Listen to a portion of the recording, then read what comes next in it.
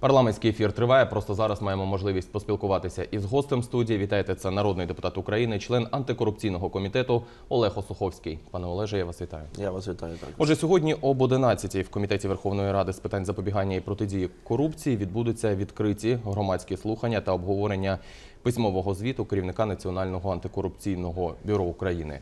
Які, е, які ваші очікування? Що особисто ви хочете почути від Артема Ситника? Ну, пройшов рік е, роботи, так е, відповідно.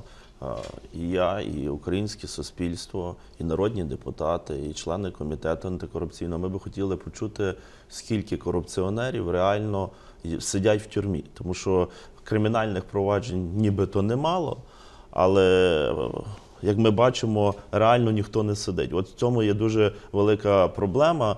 Хоч ну інші європейські країни, такі як, наприклад, Румунія, так зараз е, люблять показувати приклад на Румунії. Бо коли хотіли зміни до законодавства румунського внести про амністію тих корупціонерів, ну то також е, національне бюро запрацювало е, аж за сім років в Румунії. Так і відповідно на у нас немає сім років. Нам треба зараз. У нас де війна. Нам треба винищувати корупцію зараз. І е, за сім років е, в Румунії прийшов керівник е, їхнього антикорупційного бюро і реально почав садити колишніх прем'єр-міністрів, е, депутатів, міністрів. І відповідно, коли е, хотіли внести зміни, щоб амністію для тих всіх е, міністрів і е, прем'єр-міністрів колишніх Румунії, відповідно тоді повстав народ. І зараз е, ми би хотіли почути від Артема Ситника, і я думаю, що і Назар Холодницький буде на сьогоднішній день е, на нашому комітеті, як йдуть розслідування, які є проблеми, тому що наш комітет завжди готовий йти на поступки, так? співпрацювати, допомагати, вдосконалювати. І відповідно ну, є проблема в тому, що в нас не працює і судова система. Це також є. Бо як Чи ми можемо ви на це, як е, ми можемо, як ми можемо побороти корупцію, коли кримінальні справи йдуть до судів, а судді відповідно беруть хабарі і е, продають ті кримінальні справи або дають застави, якісь невисокі, і корупціонери виходять, а потім десь втікають в Європу або в Росію. Тобто, оцінюючи діяльність НАБУ та антикорупційної прокуратури, ви все ж таки будете зважати на об'єктивні фактори. Ну, Вона об'єктивні однозначно, але е, основні фактори, що не проводяться реформи е, в нашій державі. Ну є величезна проблема в тому, також е, що починають е, е, знаєте роз'єднувати. Знаєте, як то роз'єднай і володарюй. Навіть громадські активісти починають пхатися туди і відповідно сварити національне антикорупційне бюро, наприклад, з антикорупційною прокуратурою. Ну не ну ясно, що це робить і влада. Владі це вигідно, але чому це роблять громадські там активісти? І я, я цього не розумію. Я навпаки кажу, що і прокуратура генеральна, і Національне антикорупційне бюро, і Національна поліція а, мають працювати єдиною командою в боротьбі з корупцією. Тоді буде, але для того має бути політична воля найвищого керівництва держави, зокрема президента України. А ситуацію з НАЗК як оцінюєте? Чимало критики на адресу цього органу. Зокрема, говорять і про можливість передачі її повноважень якимось іншим органам, хоча за процедурою, за законодавством цього не передбачено. Ну, я розумію, що їм не важко, тому що перевірити там сотні тисяч е, е, декларацій чи мільйони декларацій це, це не так просто. Е, ну, не такою великою кількістю людей. Але все ж таки вони мають зважати і перевіряти, направляти до органів там прокуратури, до Національного антикорупційного бюро, перш за все, ті декларації тих чиновників, які були ціле життя на посадах. На посадах е, суддів, прокурорів, тобто державні служби, депутатами, які були, а потім показують мільйонні статки. От такого потрібно е, спочатку перевіряти. Ну і саме основне, знаєте, на тому не робити політику. Е, Є винуватий, не, не можеш підтвердити, де взяв. Відповідно, маєш відповідати за це, де взяв, де награбував. Вже небагато часу залишається до другого етапу електронного декларування. Якщо я не помиляюсь, близько двох мільйонів державних службовців різних рівнів мають подавати декларацію цього разу. Чи очікуєте ви такі ж проблеми, які були під час першого етапу? Ну, я думаю, що це вже будуть е, менш болючі проблеми. Е, Тому що пам'ятаєте, е, коли був перший етап, скільки було блокування. Е, Велике питання було, великі чи пи- запуститься, так система. не запуститься, е, в кого ключ. Ну тобто, тобто багато було питань. Ясно, що ми це розглядали на нашому антикорупційному комітеті і допомагали вирішувати е, ті проблеми. А дякувати Богу, практично всі подали декларації, але зараз ясно, що за НАЗК е, черга власне це все перевірити і подати до Національного антикорупційного бюро, антикорупційної прокуратури всі ті е, порушення, кримінальні справи, які би мали бути на всіх е, чиновників корупціонерів. Але знову ж таки, от ми повертаючись до е, сьогоднішнього звіту, ну ми маємо ініціювати, і влада це задекларувала, і знову ж таки вимагає. І наші партнери з Європейського союзу, щоб все ж таки був створений антикорупційний суд. Тому що ну з такими судами, які зараз є, працювати, я думаю, що і НАБУ, і антикорупційна прокуратура не може. І я думаю, що ми вже найближчим часом маємо законодавчо врегулювати і створити е, антикорупційний Яка суд. ситуація в парламенті навколо цього питання? Що кажуть колеги? Адже є о, кардинально протилежні думки. Ну, ви знаєте, що це перш за все залежить від е, так званої коаліції, ну яку ніхто не бачив е, підписів народних депутатів, чи є 226, чи нема. Але від них найбільше залежить, тому що ви знаєте, вони формують порядок денний. Ну, наприклад, в нас свободівці є більше ста законопроєктів, і економічних, і соціальних, і дуже важливих. А вони не ставляться навіть в порядок е, денний. І зараз залежить від е, і відповідальність несе за це блок Петра Порошенка і Народний фронт. До речі, чимало питань минулого пленарного тижня виникало до того, чи дійсно є коаліція, чи здатна вона ефективно працювати. Як оцінюєте перший тиждень та його ефективність? Ну, ви бачите, що він е, не був ефективний настільки, скільки би хотілося. І Дисципліна то, що, це головна проблема. ну, це головна проблема, але е, дисципліною мають дивитися. Перше голови фракцій, голови політичних партій, які протягнули фракції до Верховної Ради України. А українські виборці мають просто робити аналіз, хто як голосує, хто як ходить на роботу. Відповідно, якщо народні депутати не хо- не хочуть ходити на роботу, якщо народні депутати не хочуть приймати е, важливі закони, зокрема економічні е, для України, щоб піднімати економіку е, України і соціальний стан. Відповідно, на майбутніх виборах просто українці, хай таких народних депутатів, політичних сил е, не обирають до Верховної Ради України, а обирають тих, які будуть реально працювати для українського народу.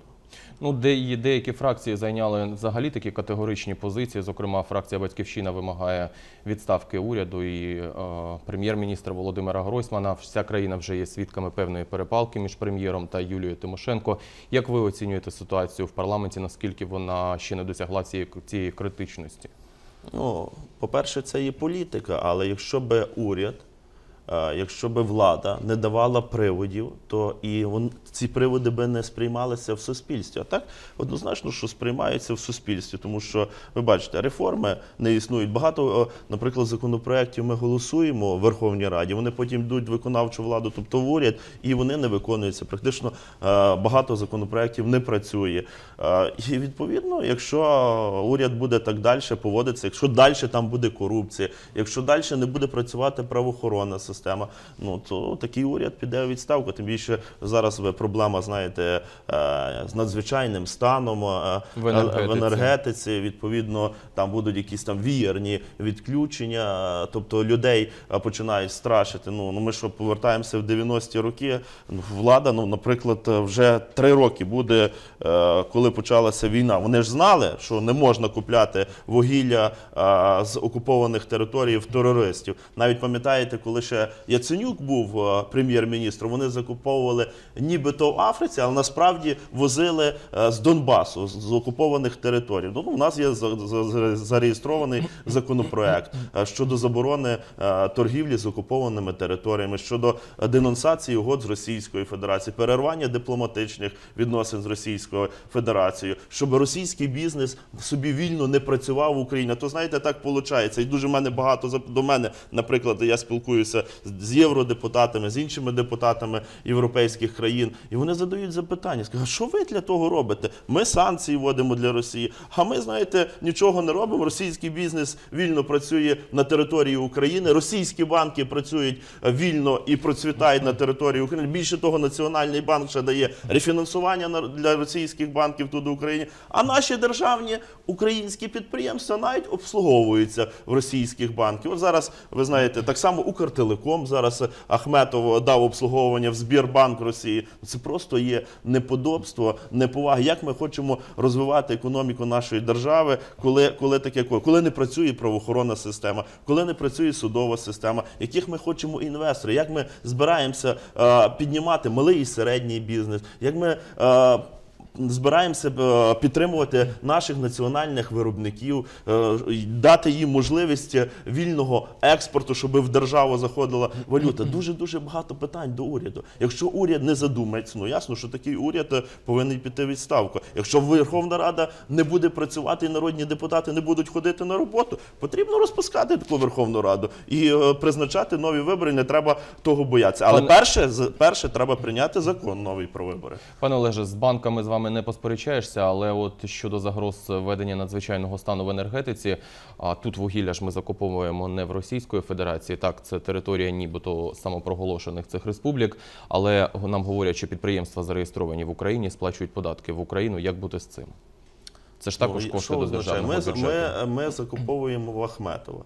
Ну, наскільки є інформація, що там відсотків там 45 е, від цього йде тим терористам самим. Відповідно, терористи купляють зброю і потім е, атакують наші позиції. Тобто ми таким чином українські. самі ну, просто це, це, це не Ну, Ахметов все на антрацит пере- перевів всі е, теплоелектростанції. Ну, зокрема, на Західній Україні. Я знаю, завжди на Західній Україні е, реально брали вугілля з Червонограду, тобто з Львівського Волинського вугільного басейну. Зараз там люди без роботи, але зато там е, беруть це вугілля, купляють з Донбасу, і відповідно терористи на цьому наживаються. Ну я ще раз наголошую: три роки пройшло е, після початку війни. Ну влада мала задум, мала це вирішити питання. Знову ж таки, ну ми постійно заявляємо, що не можна давати приватизовувати державних стратегічних. Підприємств більше того, потрібно повертати назад в руки держави обленерго, облгази. Ну, ви бачите, що зараз робиться. От навіть зараз в новинах показували ви, коли е, реально бізнесу не дають жити, коли потрібно буде людина побудує собі будинок. Треба буде підключитися в електромережі, треба буде дати декілька тисяч доларів тільки за те, щоб е, вона мала світло вдома. Ну це просто неприпустимо. В нас є е, ну, не одна атомна електростанція. Атомні електростанції повністю за дешевими тарифами можуть забезпечити е, населення України електроенергією. А це повідавали все Ахметову в руки теплоелектростанції. Відповідно, ми маємо зараз цю проблему. Е, Так Але само- те, що ви говорите, воно називається реприватизацією. Говорять, що це чи не найбільше Ну, лякає? От є, було, наприклад, з тим самим Приватбанком, так, коли була по суті монополія. Е, націоналізували в руки держави. Так само треба обленерго, облгази, тому що потім держава виділяє е, величезні мільярди на субсидії так, для населення. А відповідно потім ті субсидії і йдуть туди, хто володіє обленерго, облгазами, а хто володіє, е, володіють олігархи. Тобто, от у нас знову ж таки є закон е, Свободівський е, про ліквідацію приватних монополій. А це є монополісти, і вони собі диктують. І НКРЄ, на жаль, підтримує їх. Якщо буде так далі, ну це і, е, і уряд має за це відповідати, і коаліція так звана, ну і відповідно е, загалом влада. Якщо така влада не справляється, не знає, не вміє, е, не розуміє, як це робити, ну таку владу треба тоді перезавантажувати. А ваші слова означають, що ви в, ці, в цілому якби підтримуєте сьогоднішню блокаду енергетичну Донбасу, яка по суті актуалізувала ці питання. Ну, однозначно, якщо е, влада не справляється, якщо влада нічого не робить. Перше, я підтримую, щоб це було вирішено на законодавчому рівні, щоб не ті хлопці, які е, воювали там ще рік назад, чи два роки назад, чи місяць назад на сході, е, захищали ціною власного життя Україну, а тепер зараз мають блокувати там, е, щоб ну і ви знаєте, що не тільки звітанти возять вугілля, невідомо, що там в вагонах туди їде. Ясно, що їде, їде кругляк туди, потім терористи собі бліндажі з того будують. Але відповідно це має бути врегульовано на законодавчому рівні. І в нас є такий законопроект, ще зареєстрований у 2015 році. Будь ласка, прийміть заборону торгівлі з Російською Федерацією, з окупованими територіями. Ну і тоді всі питання будуть треба- вирішені, вирішені. А зараз е, починаються спекуляції, що нібито е, буде енергетична е, криза, там надзвичайний енергетичний стан, віярні відключення. Та ніхто, повірте мені, нічого не буде виключати. Просто зараз вже наближається річниця революції гідності. Так Е, відповідно, ну також є велик- великі проблеми, тому що не розслідується е, жодного беркутівця, жодного злочинця навіть не посадили, повідпускали під домашні арешти. Вони так також десь е, позникали з тими браслетами. І відповідно є дуже велике невдоволення суспільства і соціально-економічним станом. І вони бояться, щоб знаєте, це такий такий масований удар не пішов з сходу сюди на майдан, от коли будуть проводитися акції е, протесту. Тобто влада, влада боїться, але для того, щоб так не було, то не треба робити помилок. А що стосується навіть того проекту, е, е, який зареєстрований про, про по суті зняття Гройсмана, так ну якщо вони будуть давати приводи, однозначно, що тоді потрібно і тим більше будуть ті самі відключення електроенергії. Ну що я що ще раз повторююся, що ми повертаємося в 90-ті роки, що зараз повідключають електроенергію. І так е, електроенергія, е, величезні тарифи на електроенергію, на газ величезні тарифи. Тобто люди просто фізично не можуть сплачувати таких тарифів. І знаєте, е, маніпулюють і роблять, що хочуть. Якщо, якщо не будуть справлятися, треба перезавантажувати. Я ще раз наголошую, і уряд, і Верховну Раду. От противники рішень, про які ви говорите, вони вказують на те, що це не сприятиме реінтеграції Донбасу і Криму. У свободи є бачення того, що Крим і Донбас треба реінтегровувати. Яким чином ви це бачите? Ну, ми вже давно наголошували. Ми ще з 90-х років говорили про те, що Крим має бути областю е, України. А відповідно нам тоді кажуть, от не провокуйте, що ви провокуєте. Ну, ми тоді ще говорили, що стратегічний е, такий ворог, перший, який, від якого ми маємо захищатися, це буде Росія. О, не може такого бути. Росія наші брати і сестри. І що ми зараз бачимо? Ми, ми пропонуємо е, перше. е, Щоб, якщо взяти по формату, так ну мінський формат, він знаєте, що він не працює. Нормандський формат не працює. Треба міняти формат. Треба долучати туди учасників Будапештського меморандуму, тобто Сполучені Штати Америки, Великобританію, і відповідно разом е, боротися, разом робити все для того, щоб і Крим, і Донбас повернувся до України. Ну ви знаєте, що є вже і меседжі е, і від Трампа того самого Який заявив, що президента, президента. Сполучених Штатів Америки, який сказав, що Крим має бути е, повернутий до України, і таким чином, крок за кроком, е, рухатися до того, посилювати санкції, вимагати посилення санкцій щодо Російської Федерації. І однозначно, що потрібно залучати наших гарантів на- нашої національної безпеки, територіальної цілісності, от учасників підписання Будапештського меморандуму, Сполучені Штати Америки і Англії. Тобто потрібно міняти формат і е, ще більше тиснути на Росію, щоб е, вона повернула Крим для України, і е, також щоб ми могли контролювати на Донбасі свої кордони. Під час сьогоднішньої розмови ви не один раз згадали за те, що не варто лякатися перезавантаження влади, переобрання парламенту. Чи бачите ви перспективи для ефективної своєї принаймні роботи в цьому скликанні парламенту? Дуже я вже знову ж таки наголошував, що в нас є більше ста законопроєктів. Вони я вже не пам'ятаю, коли останній законопроект Свободівський е, вносився е, в сесійну залу Верховної Ради України. Це законопроекти, які би могли суттєво підняти економіку нашої держави. Повернення грошей з офшорів, прогресивна шкала оподаткування, великий бізнес, великі податки, малий бізнес, малі податки. Це ліквідація приватних монополій, це воєнний податок для олігархів і багато багато інших законопроєктів, які просто не розглядаються. Я бачу ефективність в тому, от коаліції немає. Ну, навіть ми хотіли прийняти порядок денний, так, е, на сесійному тижні, то проголосували там щось, як я не помиляюсь, скільки з коаліції, 135 е, народних депутатів.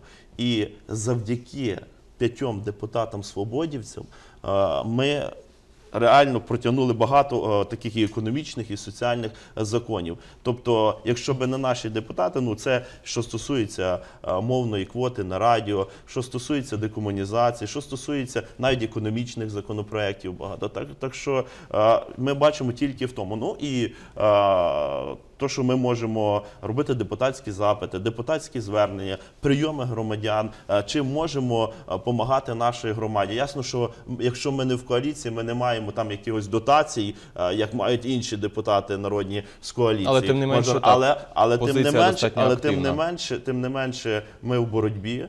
Е, Ми можемо приходити до вас на канал, на інші канали і е, відповідно боротися з тою неправдою, доводити до ту неправду, яка зараз є в державі, до українського суспільства. І українське суспільство, український народ має бачити і має аналізувати, кого на майбутніх виборах він має обирати і кого має приводити до влади. І е, ця влада майбутнє має реально працювати для України, бо зараз ефективності ми ніякої не бачимо. Я вам дуже дякую за цю розмову. Народний депутат України Олег Осуховський був гостем нашого ефіру. Дякую за увагу. Залишайтеся на парламентському Дякую і далі.